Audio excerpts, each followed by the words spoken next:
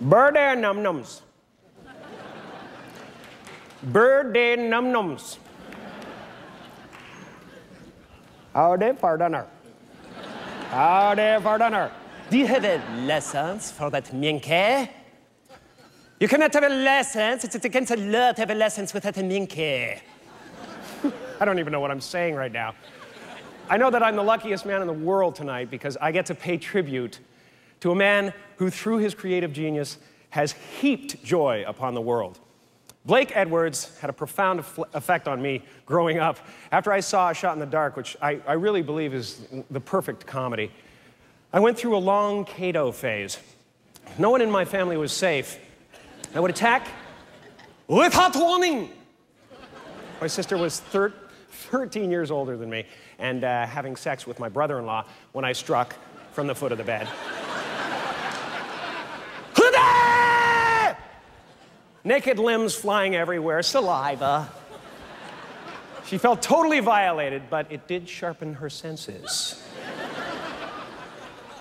the days of wine and roses made us cry, breakfast at Tiffany's made us fall in love, and everything else made us laugh like hell.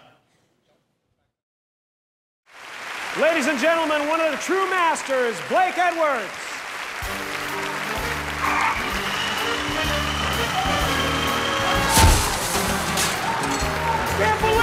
Is happening!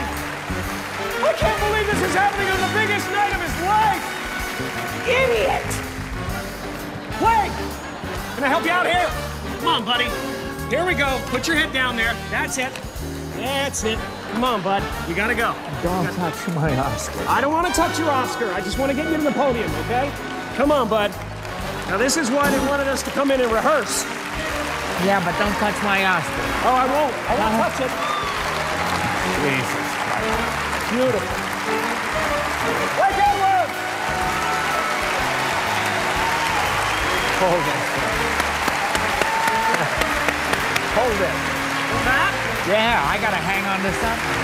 They don't let me have these, man. I know, but just Okay. Hold. I'll get it from you in a minute. Jesus.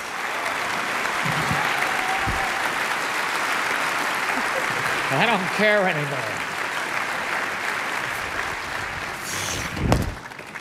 Wow.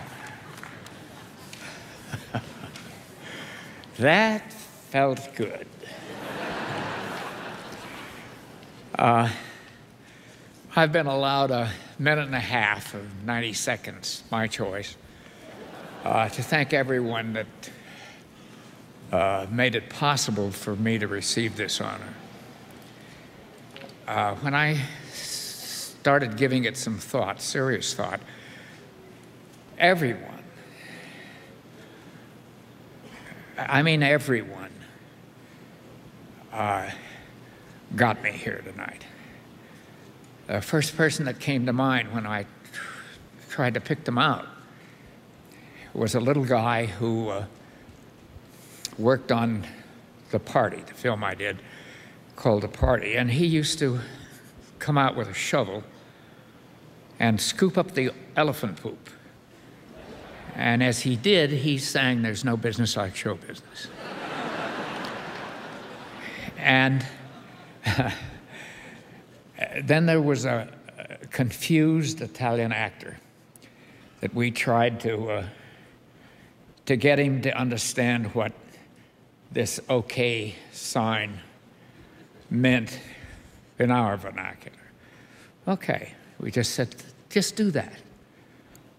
And he always did this. And so we decided better we conform to him than he to us. So from then on, uh, on the set, I would say, get the shot, Phil uh, cutting room. You, you drop a couple of frames just before the alligator swallows the chimp. Ralphie?